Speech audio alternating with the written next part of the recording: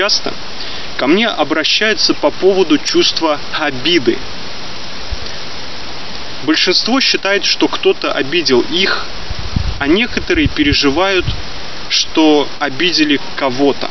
Давайте разберемся с этим. Может ли кто-то обидеть вас, если вы не хотите этого?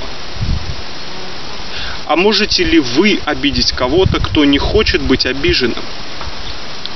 Ответ на оба эти вопроса – нет. Обижается только тот, кто хочет быть обиженным. Правда заключается в том, что как бы вы ни старались обидеть человека, который не собирается становиться обиженным, у вас ничего не выйдет.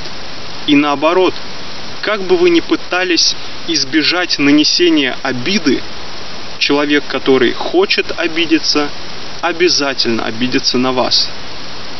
А теперь скажите, что вы чувствуете, когда на вас обижены?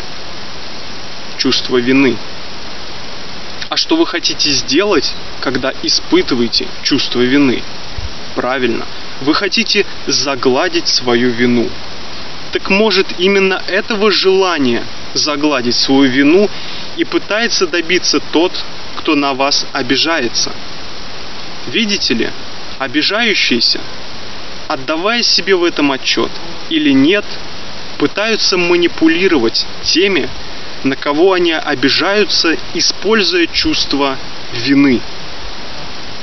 Осознание этого позволило мне пересмотреть многие вещи и освободить себя от многих обид. А также я научился не позволять манипуляторам навязывать мне чувство вины. С вами был Антон Деркач. Делитесь знанием, и вы обогатитесь им. До встречи в новых видео.